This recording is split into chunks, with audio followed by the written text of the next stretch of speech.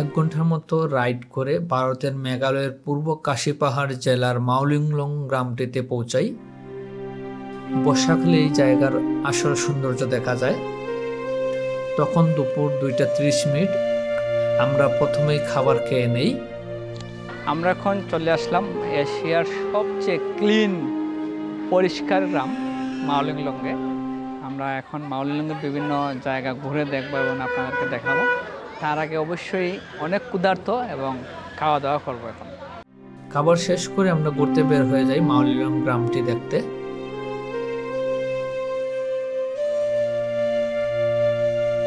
খুবই সুন্দর মানে এটা আমার পক্ষে মানে কীভাবে বলব না দেখলে এটা বোঝানো যাবে না। আসলে যারা এই সুন্দর গ্রামটা দেখতে আসবেন না আসলে কিন্তু এই জিনিসটা আসলে অনুভূতিটা বোঝানো যাবে না কতটুকু সুন্দর। সামনে গেলে একটা আহ, বাঁশের তৈরি একটা ভিউ পয়েন্ট আছে এখানে গেলে আমরা অনেক জায়গা দেখতে পাবো।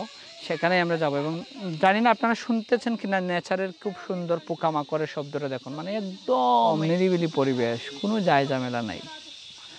হ্যাঁ এখন আমরা যাচ্ছি এই ভিউ পয়েন্টে আমরা এখান থেকে চেষ্টা করব উপরে ওঠার। তিরিশ রুপি আর যারা ছোট বাচ্চারা আছেন তাদের জন্য দশ রুপি। পে ফার্স্ট টু ষাট রুপিয়ে দিয়ে দিলাম, দুইজন আমরা উঠতেছি উপরে। চার থেকে পাঁচতলা হবে আগে। দেখা যাক, উঠে যাই। আমি আরও কয়েকবার তো আসছি সেতু দেখছি অনেক বয়স্ক লোক ওই জায়গায় উঠে, এই সুন্দর ফিলটা নেওয়ার জন্য। তবে সব কিছুই বেতের তৈরি, বেদ বেত দিয়ে বাঁধা। বাঁশে বেত, সাথে হলো গাছ। আমাদের দেশ দেখা যাচ্ছে, আমাদের সিলেট দেখা যাচ্ছে।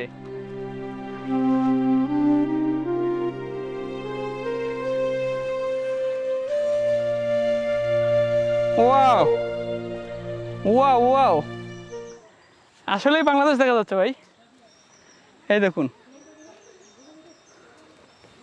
এই হচ্ছে আমাদের বাংলাদেশ।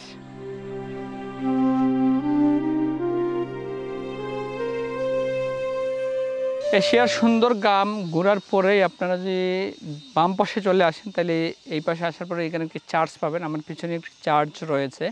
এবং খুবই সুন্দর একটি মাঠ পাবেন এখানে।